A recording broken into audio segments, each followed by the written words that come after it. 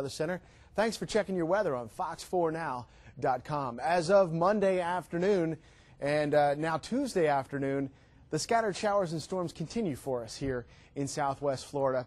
And as of today, the storms were moving across the Fort Myers Shores area and Fort Myers, Tice, Lehigh Acres, Alva 2, dissipating as it moves off to the east. Now, because of the storms around Page Field, uh, temperatures have come down into the upper 70s and lower 80s from really Fort Myers over to Cape Coral. Still pretty toasty in Naples as we are awaiting the storms as of uh, 4.30, 5 o'clock in Naples. Haven't seen the rain as of yet. 79 degrees currently with a thunderstorm in progress at this hour in Fort Myers. Humidity 74%. Pressure holding uh, steady and falling off a little bit from 30 inches. Winds from the east northeast at 7 miles an hour.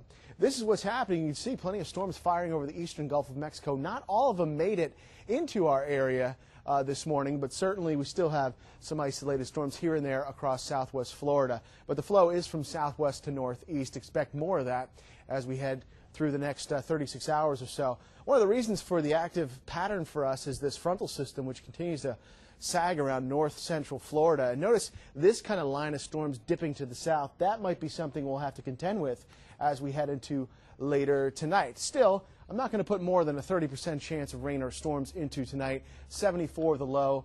80s as we head into tomorrow, eventually getting up to around 92. Southeast winds on the water 5 to 10 knots, seas 2 feet or less, and a light chop on the bay. Three day forecast indicating a solid 60% chance of rain and storms each day. Daytime highs around 92 or 93. Overnight lows in the middle 70s. For your latest weather, of course, click on the weather bar here on fox4now.com. Or you can join us for Fox 4 News at 10. We'll see you then.